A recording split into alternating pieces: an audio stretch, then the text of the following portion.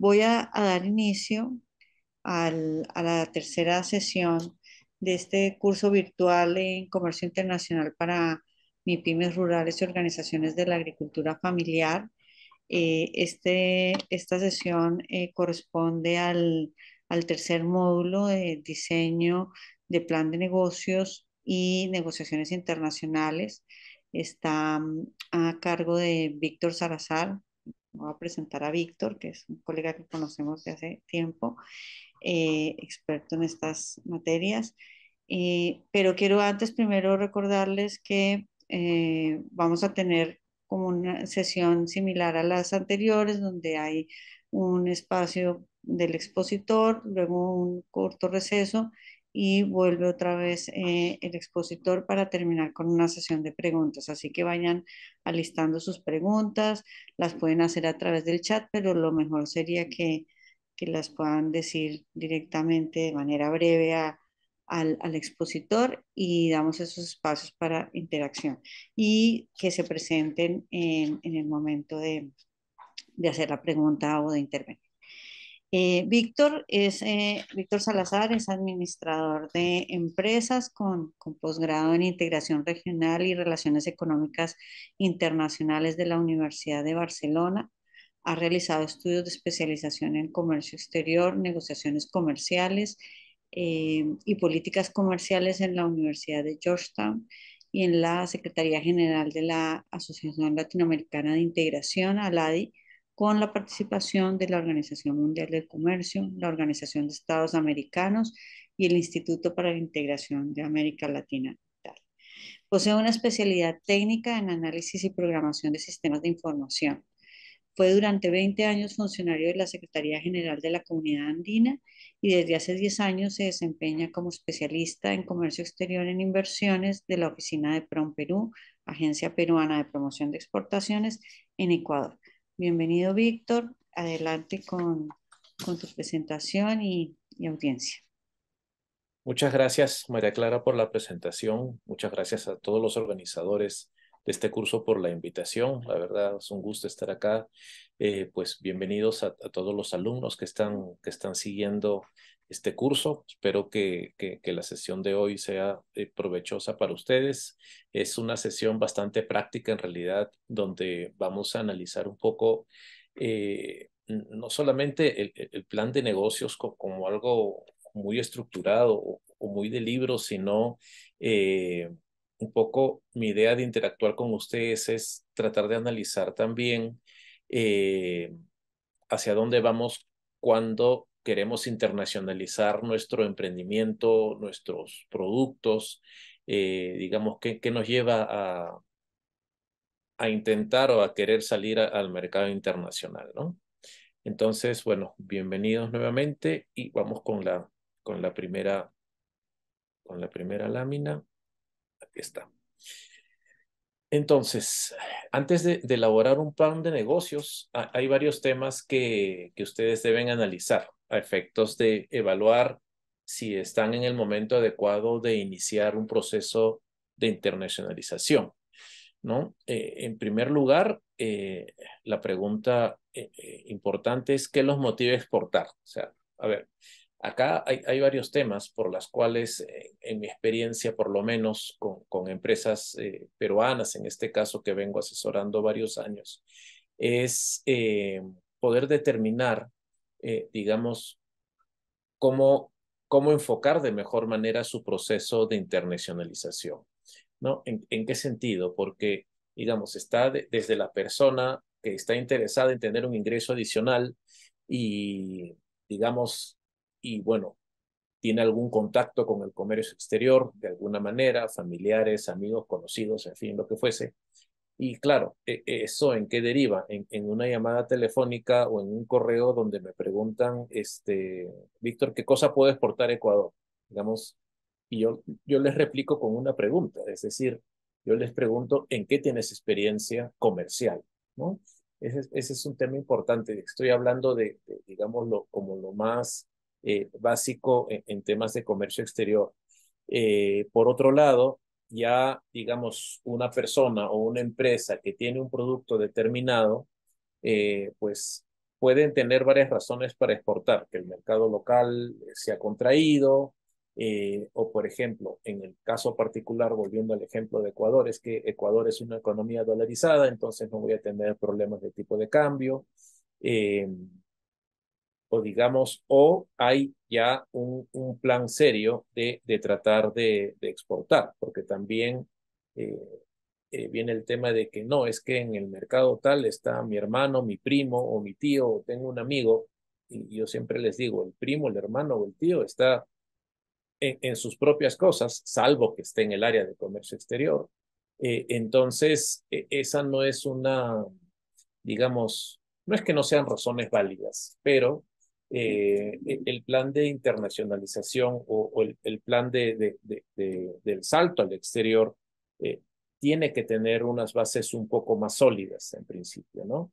Y, eh, y, y, hacia eso va la segunda pregunta. ¿Quién actualmente es el consumidor de su producto? Es decir, ¿cómo está su mercado local? ¿Tienen producción suficiente para su mercado local? ¿Están en, capacidad de incrementar su producción? ¿No? Eh, están dispuestos a cambiar el producto de ser necesario. No hablo de un cambio radical, pero eh, sí temas de envases, embalajes, etiquetado, ¿no? Entonces, eh, son otros temas que hay que considerar que son importantes al momento de analizar el dar el salto exportador. Es decir, eh, quién me está comprando actualmente, eh, tengo sobre oferta, tengo sobre demanda. El análisis, el análisis local es muy importante para saber en, en qué estadio de mi, de, mi, eh, de mi nivel de producción, de calidad, etcétera, me encuentro, ¿no? Eh, y esto va atado a la siguiente pregunta, es de qué información tienes del proceso de exportación. Eh, exportar un producto, y ya acá entro un poco eh, a, tratar en lo que se refiere al tema de agricultura familiar o, agroindustrial. No sé muy bien en qué estado están cada uno de ustedes, seguramente me lo comentarán, pero los productos agrícolas tienen sus particularidades al momento de realizar una exportación. Es decir, tengo que definir a qué mercado voy a ir, qué restricciones existen en ese mercado, o qué documentación me piden en ese mercado, qué cosa tengo que cambiar para poder ingresar al mercado al cual estoy pensando exportar.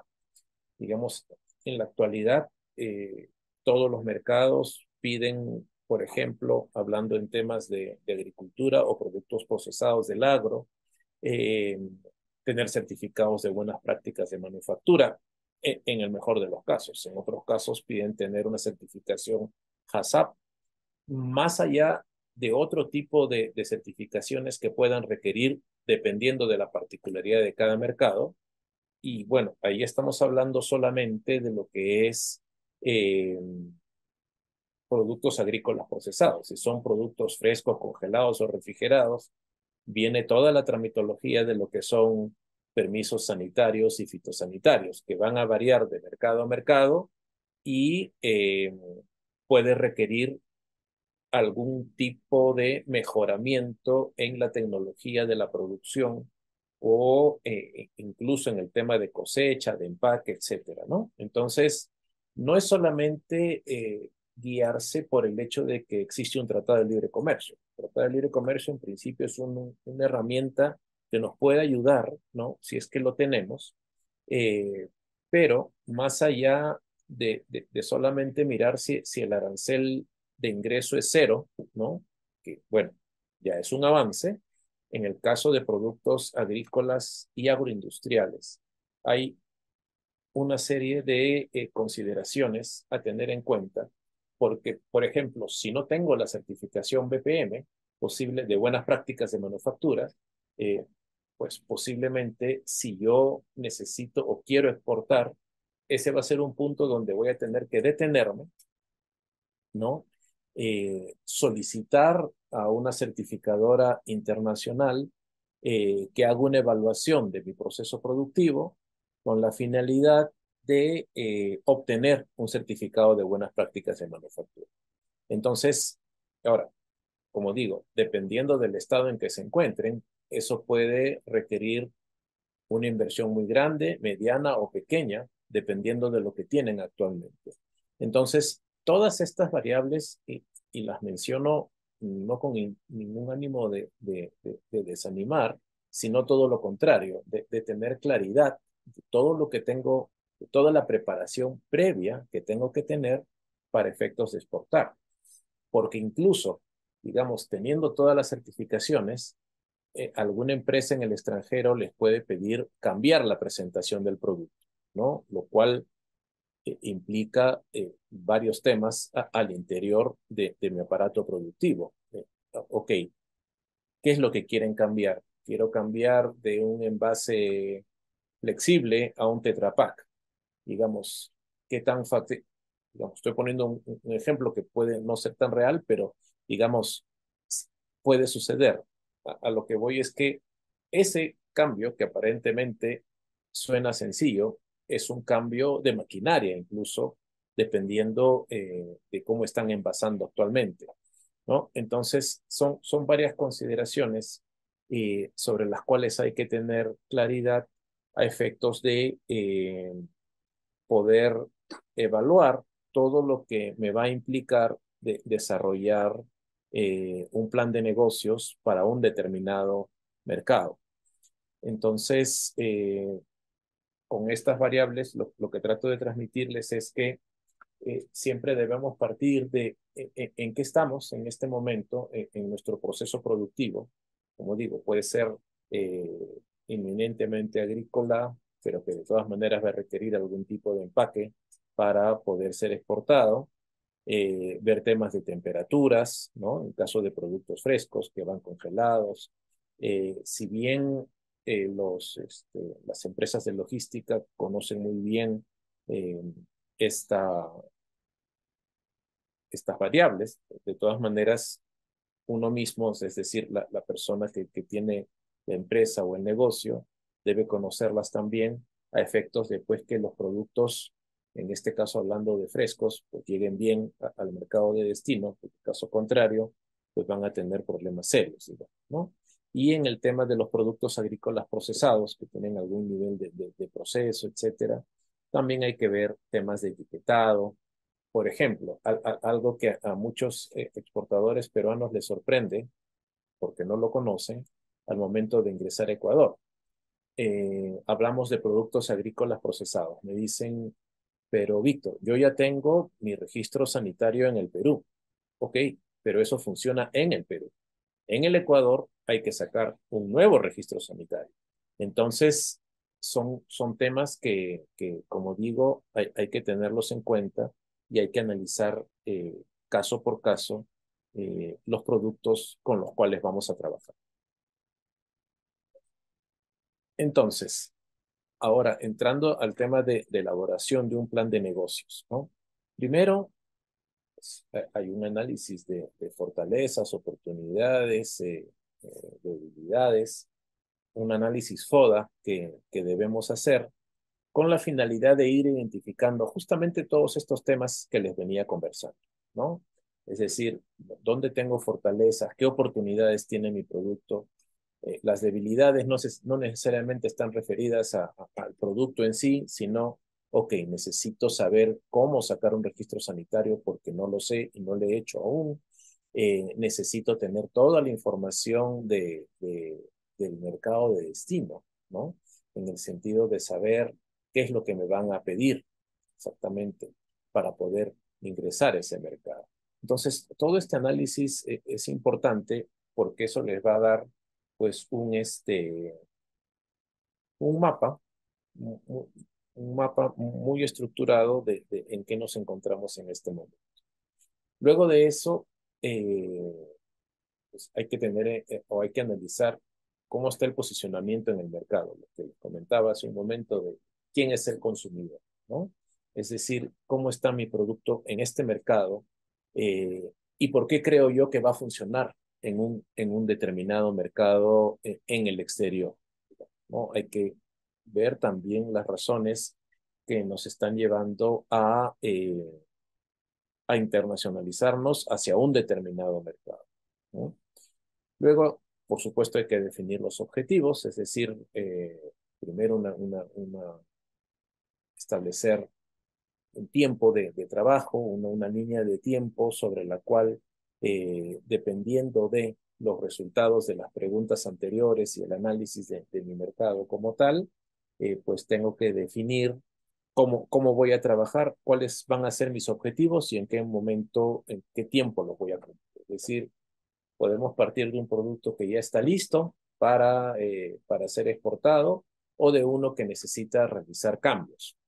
Para ello, la, mayoría de agencias de promoción en la región eh, tienen, un, tienen un proceso. En el caso de Promperú se llama la, ruta exportadora, eh, igual se llama en, en, el Ecuador. En todo caso, e, es un sistema que, que las agencias del gobierno eh, han desarrollado o han implementado con la finalidad de saber eh, en qué etapa del proceso de exportación se cuenta su producto y qué mejoramientos se deben hacer, ya sea en el empaque, en el embalaje, en las etiquetas, en el proceso productivo. Entonces, eh, digamos, todo eso debemos establecer una, una, una línea de tiempo para saber ¿Cuánto tiempo nos va a llevar obtener una información, obtener una certificación, realizar una modificación de nuestro proceso productivo de ser necesario? ¿no? Entonces, cada uno de esos se convierte en un objetivo hasta poder eh, cumplir el objetivo final, que es ya el inicio del proceso de internacionalización de nuestro producto. Y finalmente, pues, por supuesto hay que tener estrategias competitivas, es decir, hay que tener claridad y, y esto ya uno, uno tiene eh, eh, el tema mucho mejor definido cuando haya hecho el análisis o la prospección del mercado al, al cual, eh, al cual queremos vender, ¿no? Entonces, eh, por ejemplo, un, un, un, productor peruano, que, que, perdón que ponga los ejemplos en el tema binacional, son los que más tengo a mano y los que más conozco, pero creo que, que sirven eh, bastante bien para, para mostrarles con ejemplos a, qué me refiero con, lo que estoy, con lo que estoy exponiendo. Eh, un productor peruano eh, de quesos, ¿cómo se llaman estos? Quesos para untar. Entonces, resulta que los quesos para untar, él tiene 10 variedades de quesos para untar. Entonces, pero el, el primer problema que encuentra es que necesita 10 registros sanitarios, porque cada uno tiene un componente diferente, no es el mismo producto. Entonces, una, la primera estrategia que planteó el productor de los quesos para untar dijo, ok, me voy a Ecuador con muestras y voy a ver cuál de ellas es la que le gusta al consumidor ecuatoriano. ¿no?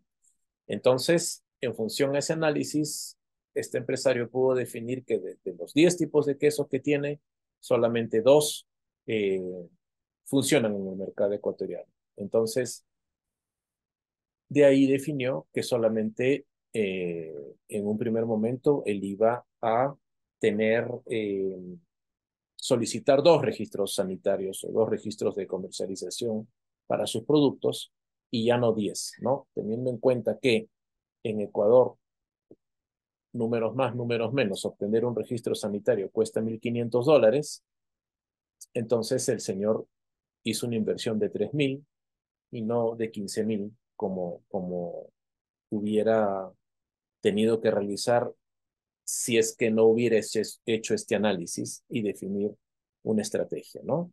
Eh, otra estrategia competitiva puede estar definida en, el tema de los envases, si, si es que se si es que, si es que aplica para, para algunos de ustedes, es decir, cómo voy a envasar mi producto, qué cosa, qué cosa me está pidiendo el mercado. ¿Van a comprar, eh, no sé, jugos naturales para las loncheras o van a comprar jugos para tener en la casa? ¿O van a comprar eh, salsas picantes para restaurantes o eh, igual para, para uso doméstico? Entonces, pero todas estas estrategias, como lo vamos a ver un poquito más adelante, vienen acompañadas de lo que nosotros llamamos una prospección comercial, es decir, un tema importante, incluso para la elaboración de un plan de negocios, es tratar de eh, visitar el mercado a cual quiero llegar, ¿no? Y ver si hay productos como los míos, eh, qué tipo de productos hay, cómo están envasados, qué le gusta a la gente, hacer estos este, pruebas de, de sabor o focus group para ver cómo, cómo responde eh, el mercado a, a, a sus productos. Entonces, eso nos va a ayudar a poder definir mejor nuestro plan de negocios y a poder trazar eh, nuestras estrategias competitivas.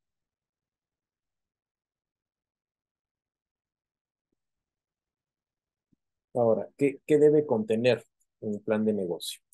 Estamos hablando de, en función a lo, que hemos visto anteriormente, estamos hablando de eh, ya ponernos a, poner en blanco y negro, digamos, eh, toda la información que hemos eh, acopiado, toda la información que hemos recibido, en fin, que nos va a, poder, pues, nos va a permitir trazar en, un documento, es decir, tener en blanco y negro cómo vamos a hacer para desarrollar nuestro plan de negocios que nos va a llevar a la, a la internacionalización.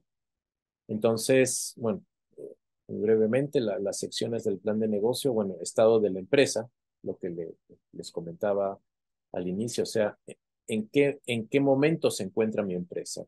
Eh, estoy trabajando en mi país a nivel nacional, estoy trabajando a nivel regional, estoy trabajando a, nivel más local, o sea, digamos, eso es, eso es un tema que, que, que es importante definir y cómo está mi proceso productivo, cómo está mi capacidad de producción, ¿no?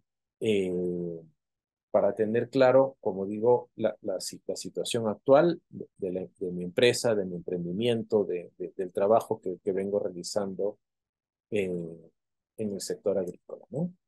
Eh, luego de eso, e, el mercado objetivo, es decir, a dónde voy a exportar, las razones por las que voy a exportar y lo que he encontrado en función a, la prospección eh, que he realizado de este mercado.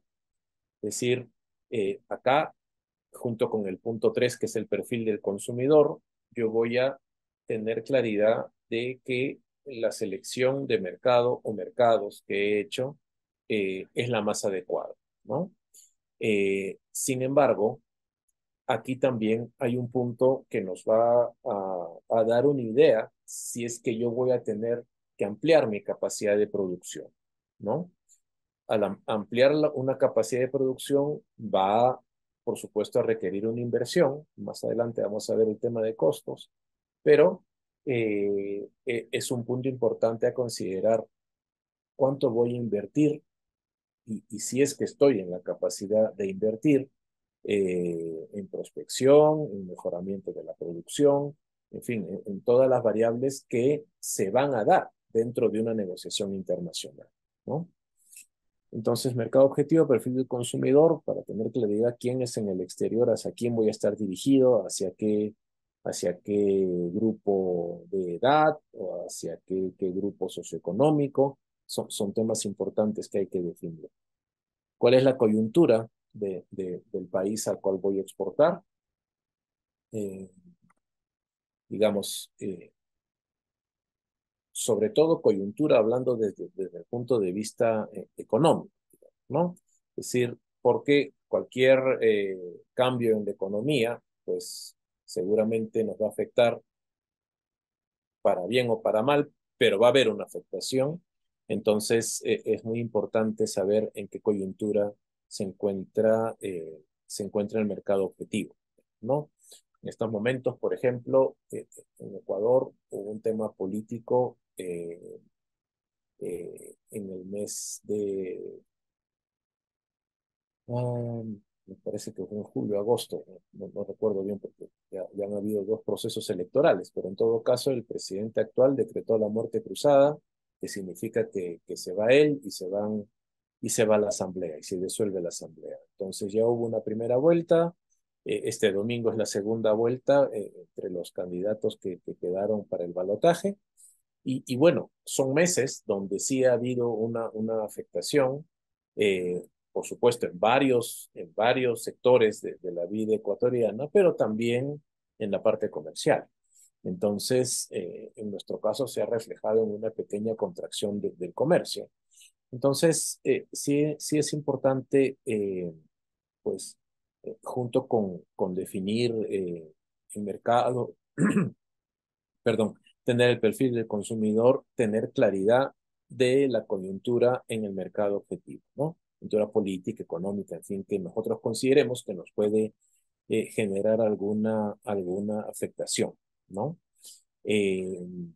estrategias de comercialización, es decir, ¿cómo voy a vender? Esto ya es, es, es un paso un poco más más adelante, eh, pero sí tengo que tener claro cómo voy a comercializar. Eh, voy a abrir un punto de venta, voy a buscar un distribuidor, voy a trabajar con mayoristas, eh, voy a trabajar con una cadena de retail, ¿no? Hay, hay, hay varias, varias formas de, de, poder ingresar a un mercado, pero otra vez en función a, a la prospección y al, y al, conocimiento que uno va teniendo conforme avanza en su proceso de internacionalización, eh, hay que definir estas estrategias de comercialización. Entonces, eh, y tienen que ser parte de, del plan de negocios. Y finalmente, ¿qué acciones voy a realizar? Es decir, yo ya tengo claridad eh, de todo lo que hemos venido conversando, el mercado, eh, el, perfil del consumidor, tengo claridad, la inversión que tengo que hacer yo como empresario, si es que tengo que modificar algo, si necesito eh, registros sanitarios, en, fin, teniendo claridad de toda esa parte, eh, ya podemos definir cuáles van a ser las siguientes acciones que vamos a realizar. Y, bueno, en, en, las acciones a realizar eh, nuevamente hablando de, las agencias de promoción comercial en la región, pues seguramente van a incluir una participación en ferias, ruedas de negocios, misiones comerciales. Es decir, hay una serie de, eh, de actividades que las agencias eh, realizan con la finalidad de apoyar a, a los empresarios o a los emprendedores en su proceso de internacionalización. Más adelante vamos a ver un poquito más este tema de las herramientas de, promoción comercial.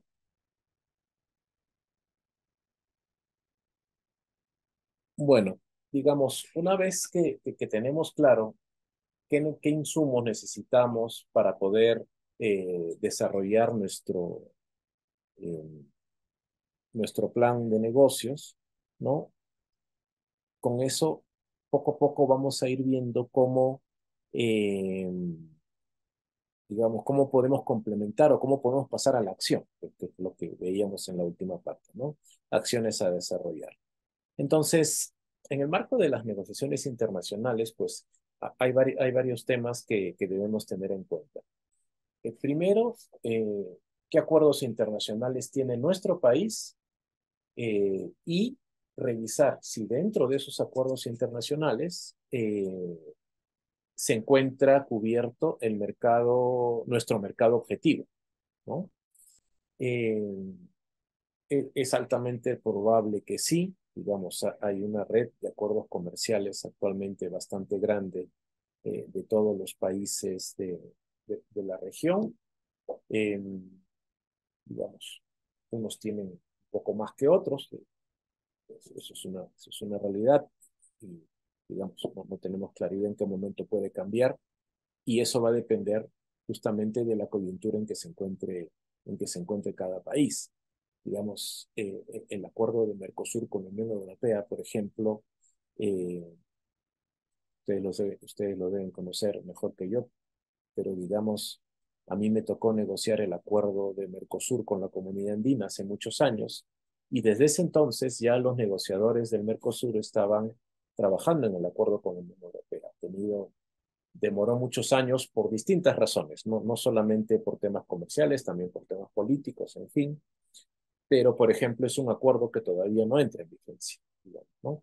Entonces, eh, y, por qué menciono particularmente el de la Unión Europea? Porque en, el caso de, de, los andinos que, que, lo tienen, pues eh, el mercado de la Unión Europea actualmente demanda mucho producto orgánico, eh, en fin, hablando de, temas de, productos agrícolas y agroindustriales, ¿no? Pero volviendo a nuestro punto central, eh, los acuerdos internacionales es algo que debemos revisar y saber eh, si nuestro mercado objetivo, reitero, está cubierto por este acuerdo. Ahora, de la experiencia de estos años, yo les podría decir que inicialmente, o sea, al iniciar un proceso de internacionalización, uno siempre inicia exportando a los países vecinos, de alguna manera, ¿no? Entonces, eso lo he visto mucho eh, en la comunidad andina, donde estuve trabajando algunos años. Eh, los emprendedores peruanos, por ejemplo, sus primeros mercados de exportación siempre son Ecuador o Bolivia digamos, ¿no? Porque Colombia de repente es un poco más exigente o hay más competencia. Eh, el mercado chileno, con quien también tenemos acuerdos comerciales, también es un, es un comprador importante, pero para empresas que ya tienen uh, experiencia en comercio exterior, pero las que se inician usualmente exportan a Bolivia o exportan a Ecuador, hablando del caso del Perú. Entonces, pues con variables que pueden afectar lo que estoy diciendo, uno puede eh, inferir de que los primeros procesos de, internacionalización son a mercados vecinos por, distintas variables, ¿no? Entonces, eh, como les reitero, revisar eh, que el mercado objetivo esté cubierto por alguno de estos, de estos acuerdos, sean de integración, de comercio, etcétera, que pueden tener una una incidencia en de que va desde no pagar arancel hasta tener homologaciones de registros para determinados productos, en fin, eh, todos los acuerdos eh, que se han ido mejorando o actualizando, modernizando, incluyen ahora un capítulo de facilitación comercial que lo que busca es justamente hacer más sencillo el intercambio de bienes entre los países que conforman un determinado acuerdo. Ahora, tema herramientas de promoción comercial. Como les mencionaba, eh, la mayoría de agencias en la región tiene estas herramientas a disposición de los exportadores. Hay ferias, hay ruedas de negocios, hay misiones comerciales, hay visitas de prospección. Em, digamos, yo partiría, eh, y es el consejo que siempre le doy a los exportadores, hacer, digamos, una vez que tengo información del mercado al cual quiero llegar, hacer una inversión en visitar ese mercado. Visitar ese mercado eh, con la finalidad de, de, eh, de, obtener mayor información de quién es mi competencia, si es que la tengo, eh, hacer focus group con, con las muestras de mis productos si es que es necesario, ver el, costo de mis productos en, el mercado de destino, el valor en percha, en mayoristas, en fin. Hay que eh, aprovechar una visita de prospección para poder obtener toda la información posible y poder perfilar quién va a ser mi consumidor y cómo voy a trabajar, como les decía hace un momento, con un distribuidor, con un mayorista, con una cadena de, de, retail de alimentos, en fin, pero todo eso lo vamos a saber de mejor manera, a pesar de que hay estudios, etcétera, lo vamos a saber de mejor manera si yo visito el mercado al cual quiero llevar mi producto, ¿no? En cuanto a las otras herramientas, pues eh, las ferias, a ver, las agencias de, promoción organizan ferias, ¿no? En, la cual los exportadores suelen participar. Entonces, eh, para una feria hay, que tener varios aspectos en cuenta, ¿no? Eh, es muy poco probable que en una primera participación una empresa venda. En realidad, las ferias lo que hacen es eh, dar a conocer un producto, ¿no? Y posicionarlo, pero para lograr ese posicionamiento uno, uno tiene que ser, digamos, no participar esporádicamente en una feria, sino participar con una determinada frecuencia que me permita hacerme conocido en ese mercado donde se, donde se desarrolla la feria, ¿no? Entonces, eh, usualmente lo, lo, que se ha estimado en general, eh, no yo exactamente, sino la mayoría de agencias es que, eh, o, las personas que trabajan ya muchos años en promoción comercial, que es más probable que recién en una tercera visita a una feria uno pueda cerrar eh, algún tipo de negocio, digamos, ¿no? Entonces, eh, porque en la primera participación se hace conocer, en la segunda participación uno vaya con más información de ese mercado, lo que conlleva que en, una, en una tercera participación se puedan cerrar negocios. No digo que no se pueda en una primera o segunda, pero lo que comento es como un, un promedio general de cómo funciona el tema de las ferias. Y es importante tenerlo en cuenta también eh, si es que dentro de sus acciones para internacionalizarse está la participación en ferias. Las ruedas de negocios pueden ser, eh, pueden ser actividades un poco más, eh, un poco más productivas, ¿no? Porque las agencias comerciales, las agencias de promoción hacemos ruedas de negocios en el país de destino y en nuestros países también, ¿no? Entonces, eh, ¿a qué voy con esto? Que así uno eh, que de repente está, está mirando un mercado, si tengo una rueda de negocios donde me van, donde me voy a reunir con 15 compradores de, distintos destinos, quizás ese puede ser un, punto donde uno diga, pues creo que está más interesante este mercado que el otro. Pero otra vez, todo esto implica eh, participar en estas actividades y tener una etapa de, de, de acopiamiento de mucha información para tener un plan de internacionalización exitoso. ¿no? Y bueno, y finalmente vienen las misiones comerciales que usualmente las hacemos en el marco de una feria o en el marco de una rueda de negocios, donde eh, además de, tener alguna de las dos actividades o las dos, dependiendo de, cuántos días dura la feria, eh, la misión comercial también les permite eh, pues visitar supermercados, ver temas de envasados, reunirse con, con, con, compradores de supermercados que, que, no necesariamente van a la rueda de negocios por varias razones. Son, las personas más difíciles de conseguir son los compradores de, los supermercados. Entonces, eh, usualmente no van a las ruedas de negocios, pero sí acceden a, a, realizar visitas. Entonces, de ahí pueden surgir cosas hasta que van desde, ok, me interesa tu producto, pero no lo quiero en 250 gramos, sino en 300 gramos, que es el estándar de este mercado. Ok, ya es, ese es un primer cambio que hay que analizar. Hasta el hecho de decir, tu producto me gusta, pero quiero que lo hagas con mi marca. Entonces, eh, si está dentro de sus planes hacer también una suerte de maquila, es decir, fabricar para un determinado supermercado, ustedes tienen que tener claridad en ese momento de cuáles serían sus mínimos, porque claro, ya no es el mismo envase, va a ser otro envase o otra funda. Entonces, todo eso implica también que al mismo tiempo que ustedes acopian información, tienen que estar preparados para participar en alguno de estos eventos. ¿Preparados en qué sentido? Eh, a veces eh, sucede de que justamente por falta de, información o de investigación, eh, pues viene un comprador y le dice, ok, entonces yo necesito este producto puesto en el puerto de Guayaquil. Entonces, ahí comienzan los problemas, porque si no tenemos toda la información completa de nuestra estructura de costos, no vamos a poder dar un costo.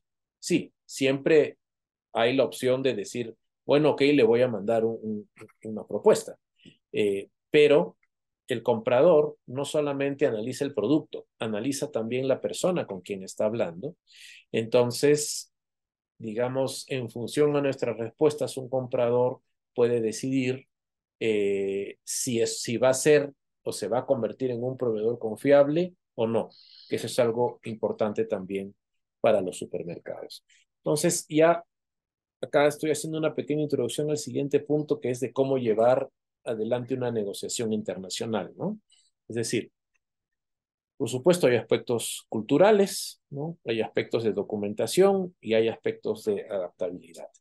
Entonces, usualmente cuando, cuando empresarios peruanos vienen al Ecuador, yo, les cuento un poco cómo funciona eh, o cuál es la idiosincrasia del empresario ecuatoriano, porque además, en el caso particular de Ecuador, hay una diferencia importante entre el empresario de la sierra y el empresario de la costa, ¿no? Entonces, y todo eso es importante que el exportador lo conozca, el empresario lo conozca para tener claridad de cómo va a abordar eh, un proceso de negociación, ¿no? Hay que tener claridad de toda la documentación, ¿no? Eh, y de todo lo que hemos venido hablando, ver los requisitos sanitarios, fitosanitarios, eh, los, bueno, cumplimiento de reglamentos técnicos y los permisos de comercialización. Entonces, todo eso lo tenemos que tener claro al momento de sentarnos a negociar. Porque, ¿qué pasa si un supermercado te dice, ok, entonces yo me voy a encargar de los certificados de libre venta? Entonces, si uno no sabe de lo que está hablando, entonces vamos a entrar en un problema al momento de negociar. Entonces, tener claro todo lo que necesito, todo este trabajo previo que hemos venido conversando, es importante para yo poder llegar y sentarme y tener una negociación eficiente con un comprador en el exterior. Y los temas de, adaptabilidad que les mencionaba hace un momento, eh, pues para eso también hay que tener claridad de que si puedo o no puedo. O sea, ¿a, qué me refiero con esto? Que eh, en, algunos casos un cambio de, de envoltura puede significar un cambio de equipo de envasado, ¿no? Entonces, yo tengo que tener claridad si puedo o no puedo hacer esa inversión. Muchos empresarios a veces me dicen, no, es que para un solo mercado, por el momento, no lo voy a hacer. Si yo sigo explorando mercados y, y, y ya más empresas en más países me piden o, o noto yo que me piden un cambio en la presentación, entonces ya cuando me represente un negocio que por lo menos me cubra la inversión que yo voy a hacer en maquinaria, entonces en ese momento lo puedo hacer. Y es válido y está bien. Cada uno eh, tiene que conocer eh, cómo está de presupuestos, hasta, hasta cuánto puede invertir, qué puede hacer, qué no puede hacer. Pero lo que trato de, de decirles con esto es que uno debe ya venir con toda esa información, ¿no? Como reitero, para poder tener un proceso de negociación eficiente en el exterior.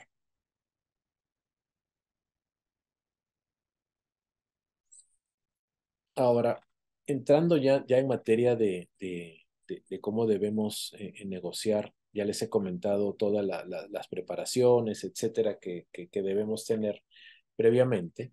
Entonces, algunas buenas prácticas para los cierres de negocios, eh, pues ya yo, como les comentó María Clara, yo, yo tengo 10 años aquí en Ecuador trabajando para la oficina de, de Perú eh, en Ecuador.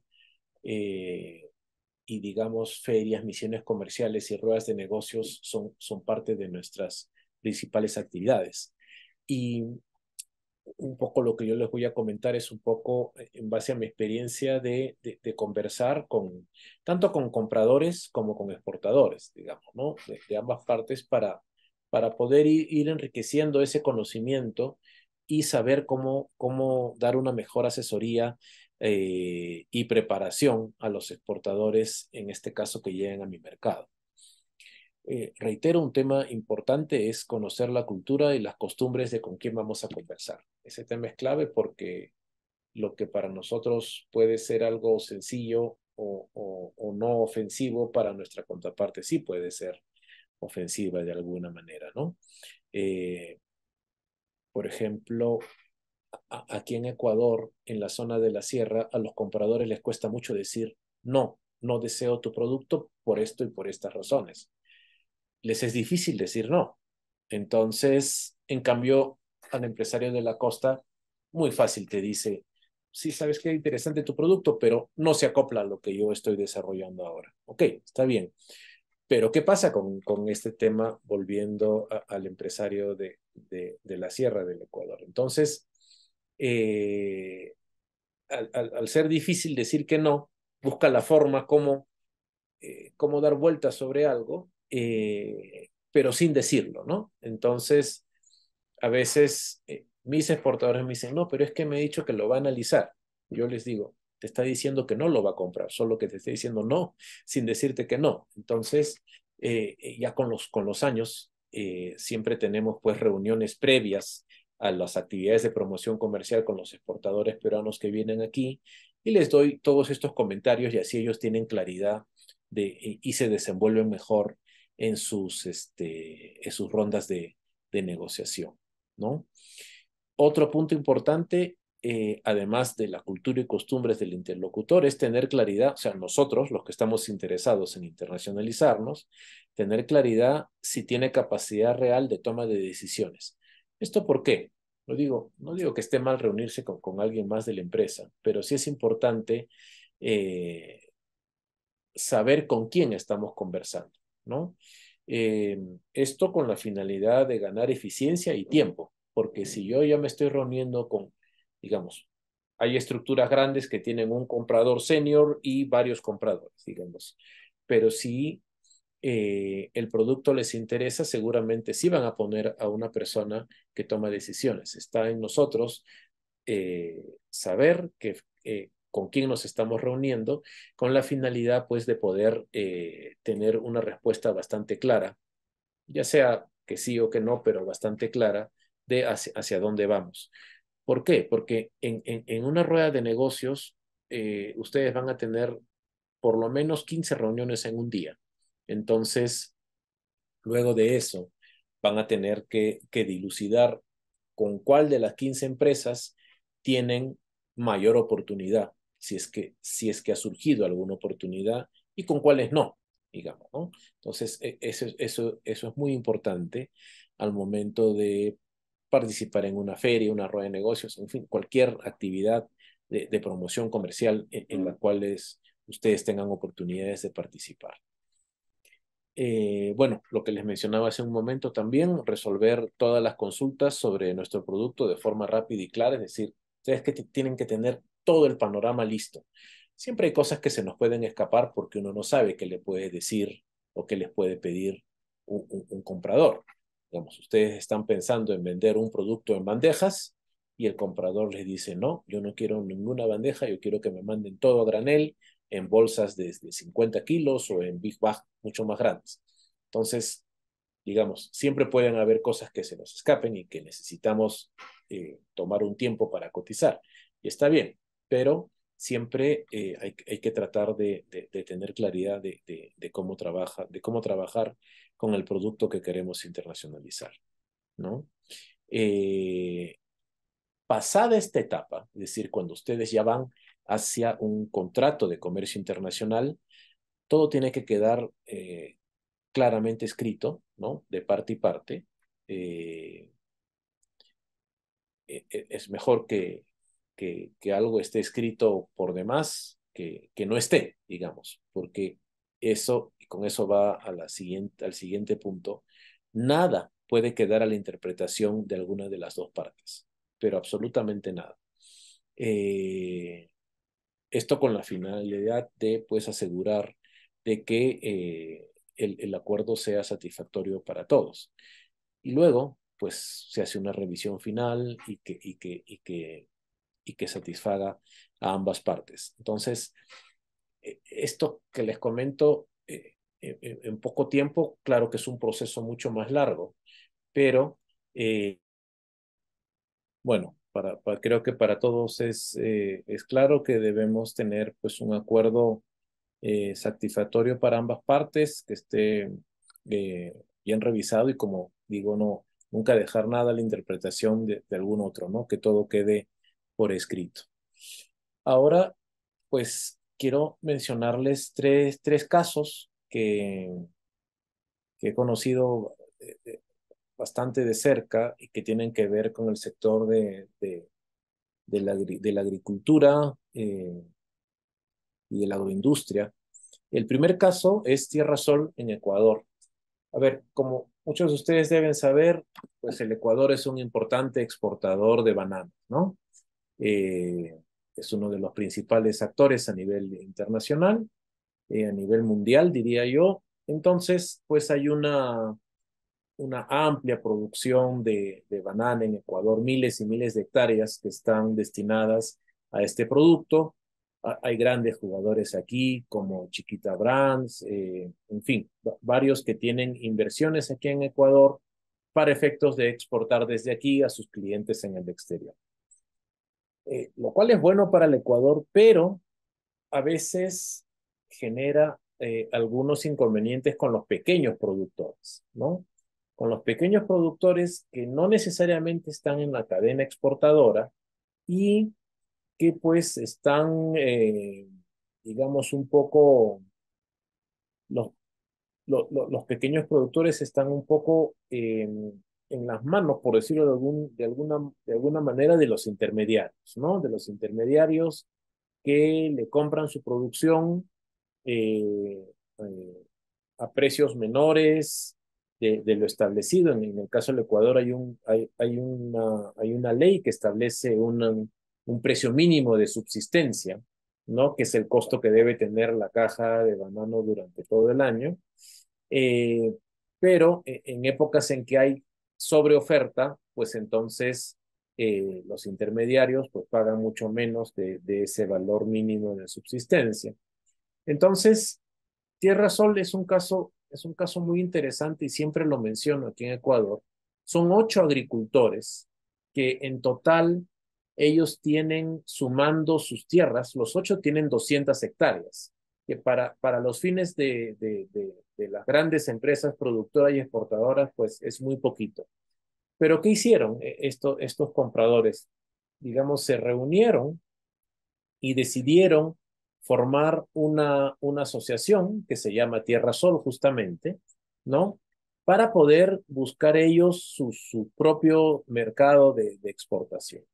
Entonces se juntaron los ocho agricultores, eh, definieron un capital y con eso eh, empezaron a obtener ellos mismos los permisos de exportación, que es otro tema aparte acá en Ecuador. Hay un permiso especial de exportación de banano que requiere toda una tramitología, pero entonces ellos decidieron empezar a trabajar para ellos mismos. Entonces, como les digo, establecieron un capital inicial de trabajo hicieron esta asociación Tierra Sol y gestionaron su permiso de, exportación de, banano y empezaron a participar en ferias, etc. Entonces, eso, la conclusión de esto, para no hacerlo muy largo, es que empezaron a obtener sus propios compradores y ellos ya, digamos, se han consolidado como emprendimiento, como empresa, y hoy por hoy llegan a varios lugares del mundo y, venden toda su producción, en principio, sin pasar por ningún intermediario ni empresa exportadora grande, ¿no? Y también les ha, les ha ido que ellos eh, hicieron un incremento de capital para inversión, han abierto una oficina en Holanda y tienen, y tienen un comprador con sueldo pagado por ellos, un, vendedor, mejor dicho, en Holanda para que les busque más clientes.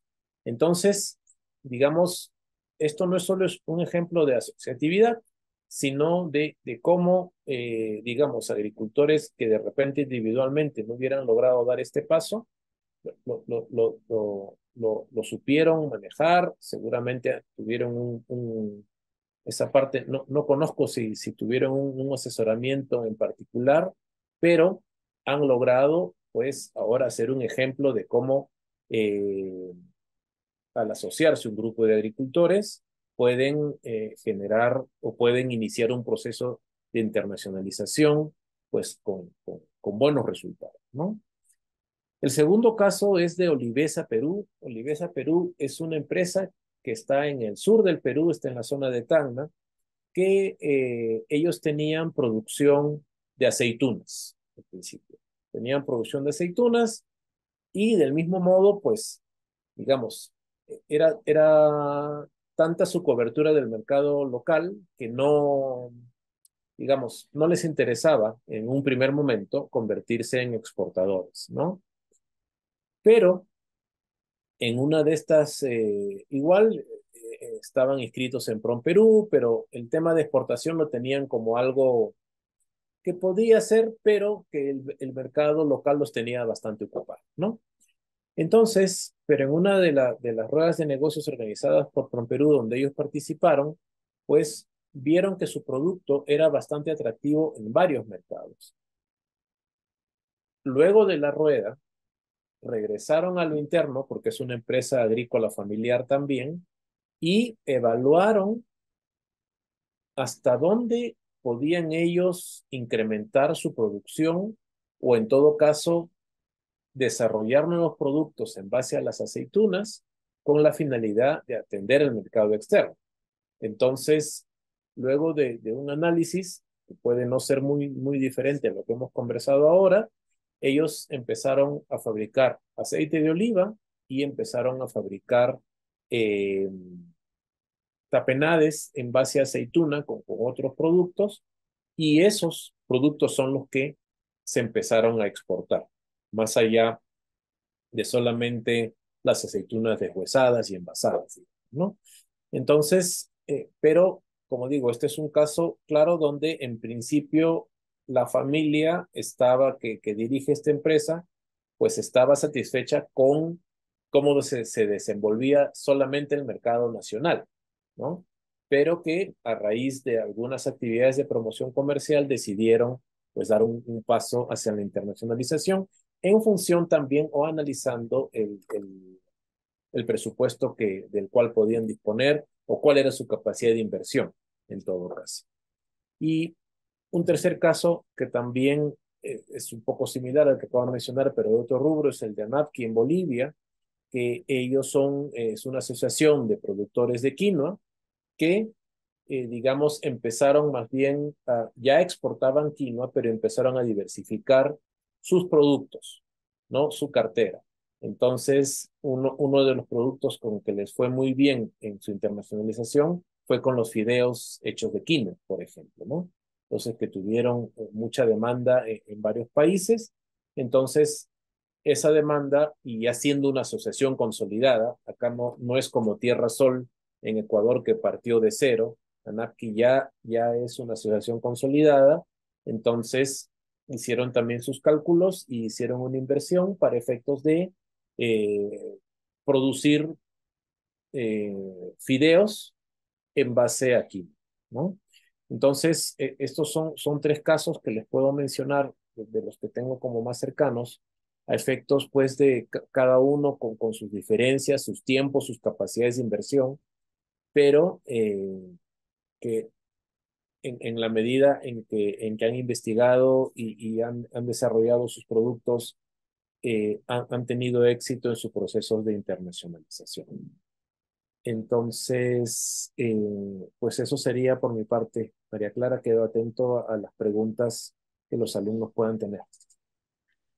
Bueno, muchas gracias, Víctor. Eh, muy interesante todas tus apreciaciones y experiencia y creo que pueden aprovechar eh, justamente esa experiencia de Víctor en, en, en, en, la comercialización y en, la, eh, en el establecimiento de relaciones con, con, con posibles compradores, que es el, el, área donde él ha venido eh, trabajando concretamente y que puede darles pues, más tips de, para, que tengan, para que tengan en cuenta. Eh, preguntan, preguntan, Víctor, si podemos tener acceso a las páginas web de estos tres casos. Eh, sí. Si tienen página web o tienen una, un contacto como para, para visualizarlos y los puedes compartir en, sí, el, en el chat. Voy a anotarlo, sí. Eh, sí te, te, te, lo envío o por me lo. O me lo envías por correo, por correo, y yo, sí, por y yo lo envío con la presentación eh, para que ustedes lo tengan. Mm, si no hay preguntas, yo sí tengo algunas preguntas que, que, que tal vez pues esto ayude a, a, a generar otras. Eh, desde, desde tu experiencia ¿cuál es la información más precisa y relevante y concreta que debe conocer un export, que debe conocer un exportador de su producto para ir justamente a estos eventos de promoción comercial? Que sin esa información, pues mejor no ir. O, o, va a ir y le van a preguntar de esos, de esos temas. ¿Cuál es la que tú recomiendas que debería sí o sí tener? Enfocándonos un poco eh, en, el tema agrícola y agroindustrial, eh, bueno, lo, primero que tiene que saber es si el producto puede entrar a, a ese mercado, ¿no? Porque, ¿qué pasa? En los productos, eh, en los productos frescos, los que van, bueno, congelados o refrigerados, pero que son frescos, el país de destino, si no tiene protocolo sanitario, el producto no entra, ¿no? Es lo que nos pasa, por ejemplo, ahorita a Perú, que quiere exportar arándanos a Ecuador. El arándano no puede ingresar a Ecuador porque no existe un protocolo sanitario para su ingreso. Entonces, esa es una de las primeras cosas que hay que saber, porque, digamos, ya sabiendo eso, uno dice, bueno, pues entonces en este mercado no voy a ver cuál sí tiene o sí puede recibir mi producto, ¿no? Porque hay que tener en cuenta que los requisitos sanitarios para el ingreso a un país se dan eh, de manera binacional. O sea, por ejemplo, Ecuador puede entrar arándano de Chile, pero no puede entrar arándano de Perú, porque hay requisitos para el arándano chileno que tiene sus particularidades, pero no lo hay todavía para el arándano peruano.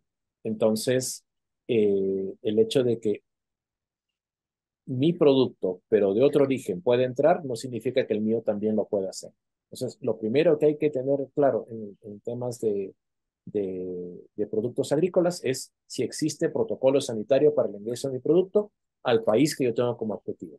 Eso es una primera cosa que hay que saber. Eh, lo segundo, si es un producto agrícola procesado, cuáles son, eh, cuáles son los reglamentos técnicos que debo cumplir, si es que existen, y cómo se obtiene el registro sanitario en el país de destino. Cuánto tiempo lleva, cuánto cuesta, cuál es la autoridad que, que los otorga. Yo, yo, creo que eh, dentro del sector en el que estamos trabajando, eh, esos son los, digamos, algo que de todas maneras hay que saber, más allá de cuánto pago de arancel, ¿no? Que, que en el caso de los productos agrícolas, como hemos visto, no, no, no es tan relevante en el sentido de que hay otras barreras para arancelarias que sí pueden ser un dolor de cabeza si no las conocemos bien. Gracias, Víctor. Hay sí, una pregunta de... Yo te puedo hacer una preguntita, comentario, aprovechando ahí. Mariclara, ¿puedo meterme? Adelante, sí, Pablo. Teníamos una pregunta antes de Víctor, pero de Jacobo, pero si quieres. Ya, no, eh... mira, porque yo me quedé con, con, con algo que, que, mencionaste, Víctor, al principio, que creo que, creo que es muy importante y te quisiera pedir si podrías profundizar en base a tu experiencia y en base a la manera como asesoras este, a los pequeños empresarios, productores con los que tú trabajas, ¿no?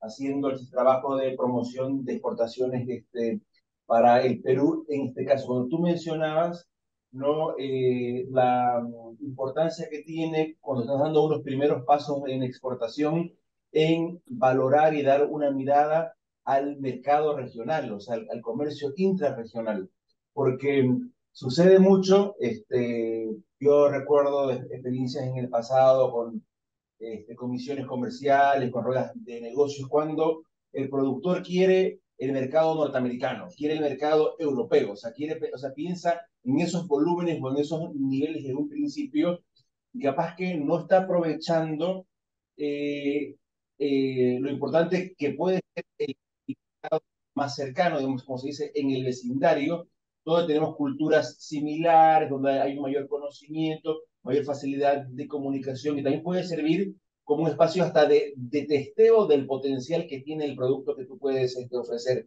Pero a veces eh, en el productor hay ese pensamiento de que, bueno, este, en, ese, en los países vecinos producen lo mismo que yo, muy parecido, pero en verdad hay espacios ahí y, este, para poder acceder a, a mercados y poder también complementarse, conocer también lo que, el, lo que se puede decir, el vecino también está produciendo, vendiendo, los precios. Si podías hacernos capaz una reflexión sobre tú, cómo asesoras, sobre todo a los pequeños productores, a las pymes rurales, ¿no? En este sentido. Y una segunda pregunta que está un poquito, este, es, otro tema, pero aprovecho y te, la, y te la hago de una vez porque creo que es muy interesante, sobre todo para los este, compañeros productores que están este, conectados el día de hoy, es este, Perú tiene mucha experiencia en los temas de imagen país, marca país. ¿no? han, han, hecho campañas con Perú realmente este, que han ganado premios a nivel mundial, de cómo posicionar esa identidad propia peruana. Creo que este, ya llevamos ya mucho tiempo también trabajando con, con los sellos de, de comercio justo y diferentes sellos que dan un valor agregado a la, a la exportación. Vos con una mirada de la agricultura familiar, ya algunos países de América Latina tienen eh, políticas de sellos de la agricultura familiar, este, tienen eh, en, en, los empaques algún tipo de distinción que eh, dan el mensaje de que esto es un producto que viene de organizaciones de productores, de agricultura familiar, de, de trabajo con enfoque orgánico. ¿Cuál ha sido tu experiencia en, esto y como un diferencial al momento de precio, de competitividad y de acceso a mercados. Son dos preguntas un poquito distintas, pero creo que pueden ser bastante interesantes para los compañeros que están conectados el día de hoy. Gracias. No, con gusto, Pablo. Muchas gracias por tus preguntas. Bueno, eh, comienzo por la más sencilla, que es, que es tu, tu primera pregunta. Eh, a ver, en, en, en, yo creo que es innegable por, lo que mencionaba hace un rato, que eh, las primeras experiencias de internacionalización son, eh, es en tu región, o sea, son, son, con los países vecinos, ¿no? Digamos, cuando yo eh, trabajo con, con empresas, con pymes, con empresas familiares, claro, existe todo, todo el, el, ímpetu de exportar, como tú bien dices, Estados Unidos, Europa, etcétera. Pero, pero, eh, digamos, nosotros no los frenamos, pero sí los orientamos a que eh, vean primero el mercado de la región. O sea, por varios motivos, digamos, por, por cercanía, eh, por facilidad en el idioma que tú mencionabas, ¿no? Eh, y porque hasta cierto punto, si nosotros vemos la, región como un todo, entre nosotros y todos tenemos acuerdos, la mayoría de nosotros tenemos acuerdos que, van a permitir una, facilitación de ingreso a ese mercado. Eh, pero además, hace años en, la Secretaría estudiábamos un, hacíamos un análisis que se llamaba el efecto plataforma, es decir, cuántas empresas que habían exportado a la comunidad andina luego exportaban al, al exterior, digamos, ¿no? Y la verdad eran, eran, eran ratios muy interesantes, porque, a ver, el hecho de que, de que, de que no sea Estados Unidos, Europa, que sea Ecuador, Chile, Colombia, Argentina, Uruguay, no significa que el importador sea menos exigente, primero, ¿no? como digo, eh, el tema de la certificación de buenas prácticas de manufacturas es, es lo mínimo que te pide un, un, comprador eh, aquí en la región. Como digo, si es que no te pide tener un HACCP, que, que ya implica más, más cosas o más cambios dentro de tu proceso productivo. Entonces, yo creo que, eh, y, eso es lo, lo que siempre digo, yo creo que la mejor forma de aprender a exportar es en la región, ¿no? Primero porque los costos son, bueno, no necesariamente los costos son menores, la verdad nuestra logística es bastante complicada y, y, y, puede representar un, un, porcentaje importante de la exportación. Eh, pero digamos, eh, hay, hay más facilidad de, de, poder, de poder resolver problemas, de, de poder responder y de, de poder sacar adelante una exportación. Y yo creo que ese aprendizaje ayuda mucho para cuando ya después el exportador va a trabajar en, otro mercado que, como tú bien dices, es más grande, requiere otros volúmenes y por eso yo incidía tanto en que tenemos que analizar cómo está nuestra capacidad de producción y si en algún momento un comprador internacional nos va a pedir el doble de lo que nosotros producimos, tenemos que tener claridad si podemos incrementar nuestra capacidad o no. Como digo, muchos empresarios prefieren declinar por el hecho de que no hay ninguna certeza, salvo que se firme un contrato a largo plazo, de que te van a comprar más, digamos, ¿no? Entonces, eh, eh, yo coincido contigo y lo que trato de decir es que sí, en nuestro proceso de asesoramiento a, a, las pymes es la región primero, ¿no? Ese tema de que producimos lo mismo, mm, sí y no, digamos, porque, por ejemplo, el Ecuador tiene algunas plantaciones de orégano, sí, algunas, pero el Ecuador es uno de nuestros principales importadores de orégano que además viene desde Tacna, digamos, porque el aroma es diferente, porque el tiempo en bolsa es mucho más largo que el que se, que el que se, se produce en Ecuador. Entonces, sí hay variables que diferencian los productos que, que, te, que te ganan un espacio en, el mercado, ¿no? Eh, eh, digamos, Ecuador recién está empezando a sembrar arándano, nosotros ya tenemos eh, una experiencia importante en arándano, entonces sí, en algún momento Ecuador puede abastecer su mercado local, pero entre tanto estamos tratando de lograr tener los permisos sanitarios para poder entrar. Entonces, y hay productos donde el Ecuador es más competitivo que el Perú, por ejemplo en Pitahaya.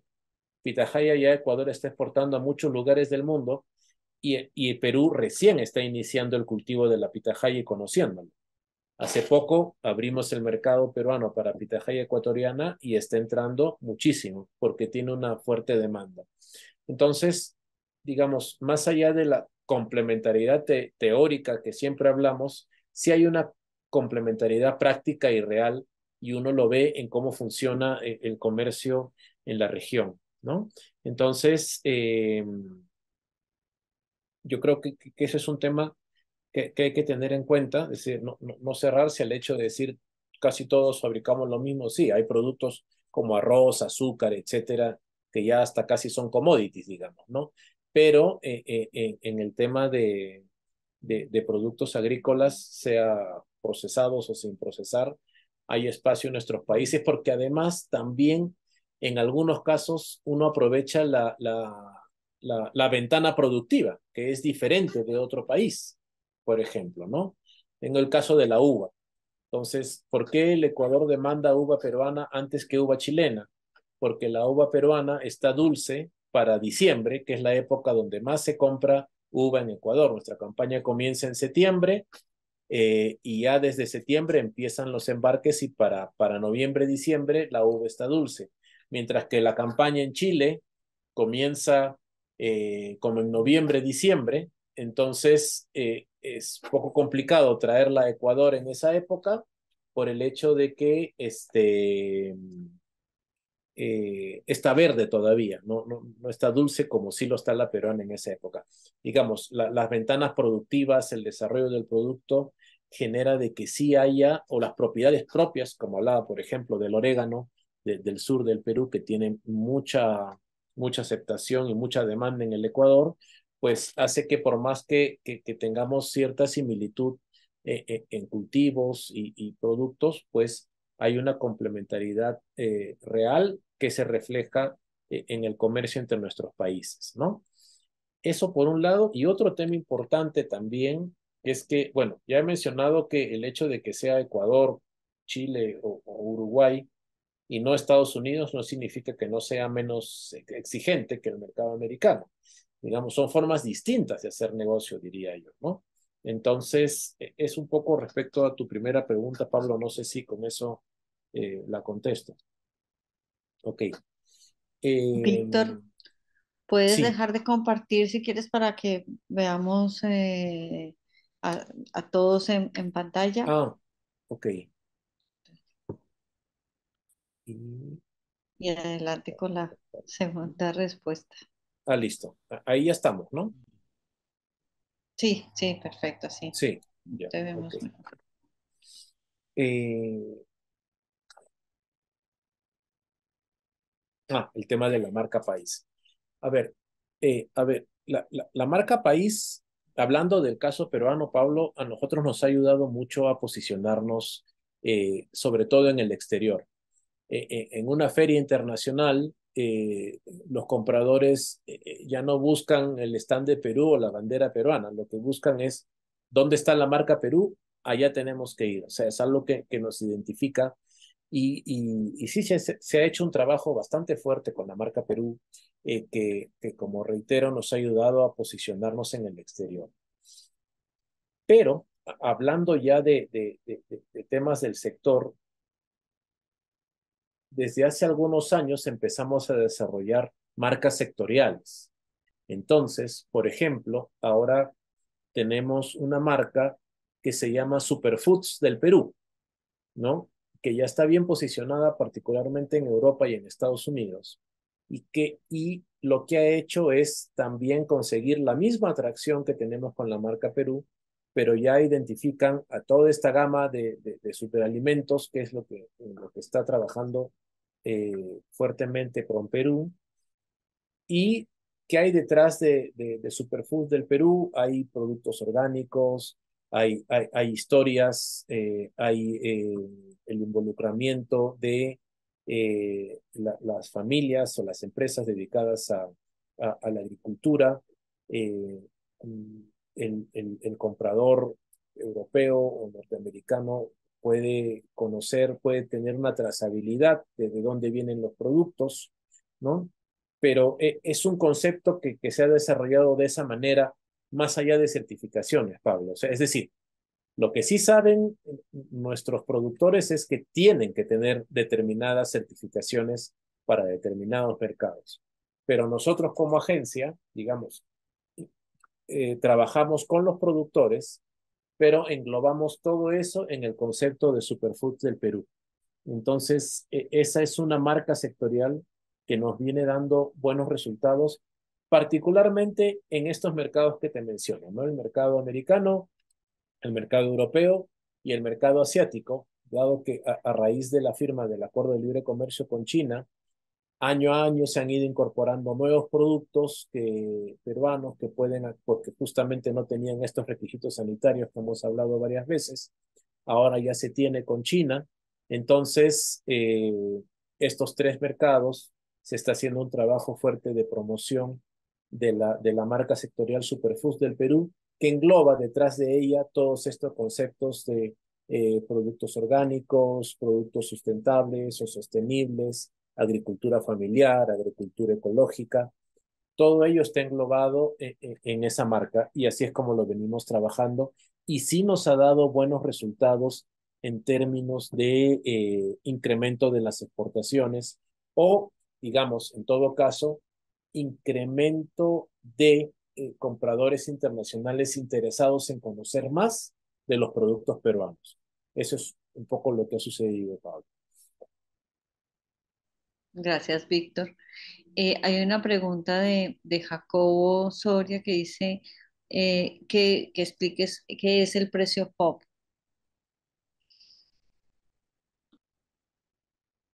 Ok.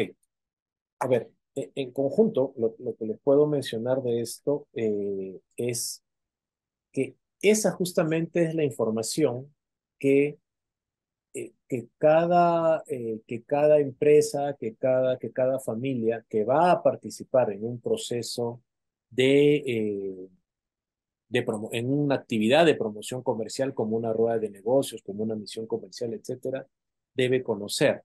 Eh, eh, el precio FOB se refiere al precio del producto eh, en el barco, digamos, ¿no? O sea, en el comercio internacional hay varios términos para saber cómo vamos a vender, ¿no? Si vamos a vender FOB, significa que mi cliente me dice, tú me dejas el contenedor en el barco y yo me encargo de todo lo demás.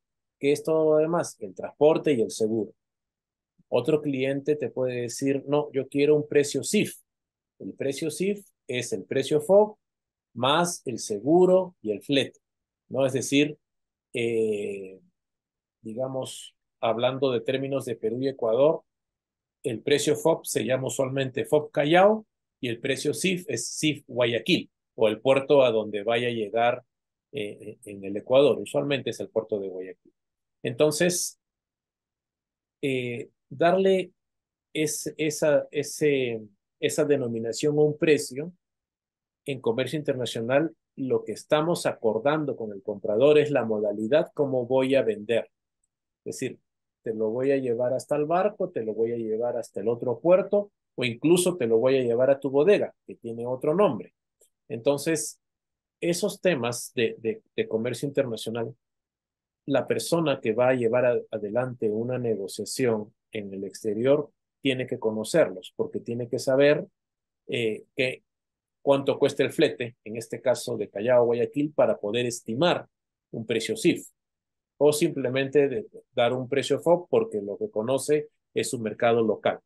Entonces, eh, esto, esta serie de, términos se llaman Incoterms. Eh, lo voy a escribir en, el chat.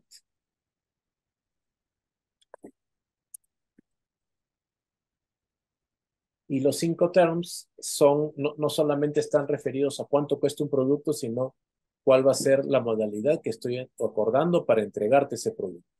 Te lo voy a dejar en mi puerto, te lo voy a llevar hasta tu puerto, te lo voy a llevar hasta tu almacén. Eh, ¿Quién paga los seguros? ¿Los pagas tú? ¿Los pago yo? Todo eso se resume eh, eh, en estas tres, este, en estas tres, en estas tres letras, por decirlo de alguna manera. FOB, CIF, DPE. Cada una de ellas va a representar el, eh, la modalidad que están acordando para vender un producto. Eso es María Clara. Gracias, Víctor.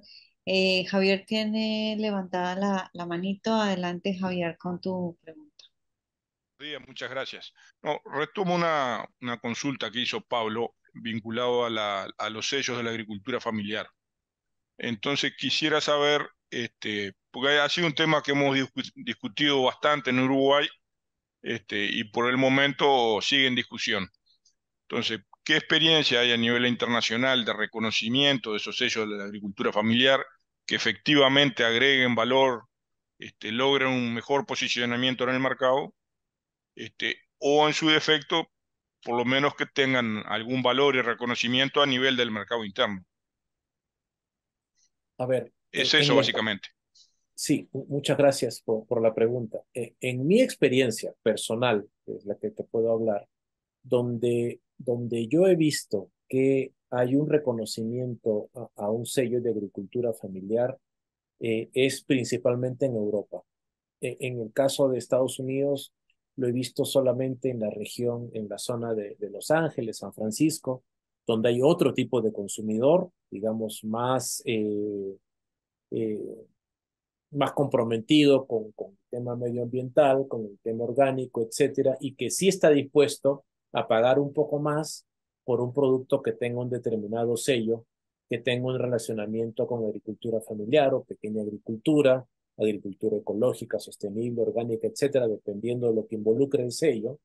Pero son los dos únicos lugares donde yo he visto que, eh, digamos, hay, hay una valoración por parte del consumidor que está dispuesto a pagar un poco más por ese producto. Pero ahí hay un tema. eso hablando desde el punto de vista del consumidor, que es el que está dispuesto a pagar un poco más. Y, y que lo está yendo a comprar a un determinado supermercado que puede ser especializado, etc. Ahora, cómo el supermercado se lo compra el productor, ya esa es otra historia. O sea, a ver, en teoría también debería pagar un poco más por tu producto. Ahora, eso hay que tratar de llevarlo a la práctica. O sea, honestamente, sí hay, hay, este, hay cadenas de, supermercados no gigantes como, como un Trader Joe's o, alguna o, un, este Carrefour en, Europa, cadenas más pequeñas que tienen cuatro, cinco, seis eh, superficies de, venta, que sí aprecian esto y sí tienen eh, claridad de que eso tiene un valor agregado y un costo adicional. Entonces, como digo, el consumidor lo acepta y paga un diferencial. Eh, la, la negociación con el supermercado tiene que partir de que tú sabes que el consumidor está pagando 50 centavos más, un euro más, lo que fuese. Entonces, al tener esa información tú, ya sabes o tienes una herramienta más en tu negociación con, con, un, con un comprador de alguno de estos mercados. Muchas gracias, Víctor. Bueno, el tiempo se nos, se nos fue y, y, quedan, si quedan interrogantes, pueden eh, eh, plantearlos en la, en la presentación. Víctor deja sus datos y, y, ahí está, ahí los pueden plantear en, en caso que necesiten consultar algunas otras cosas. Les recuerdo que nos vemos entonces los, los el próximo jueves a las 11 de la mañana y estaremos con una segunda parte de este módulo eh, tercero del diseño del plan de negocios y negociaciones internacionales, que eh, tendremos los casos, unos casos prácticos. Eh, y bueno, les recuerdo también que es importante que asistan a, a, a estas, a estas sesiones. Recuerden que la, el certificado se otorga con el cumplimiento de unos requisitos para, para ello, una evaluación y haber asistido al menos a cinco de las seis sesiones que, que, hemos estado, que vamos a realizar. Eh, cualquier consulta que tengan, pues estaremos en contacto. Eh, tienen mi correo electrónico y ahí me pueden escribir. Nos esperamos dentro de ocho días.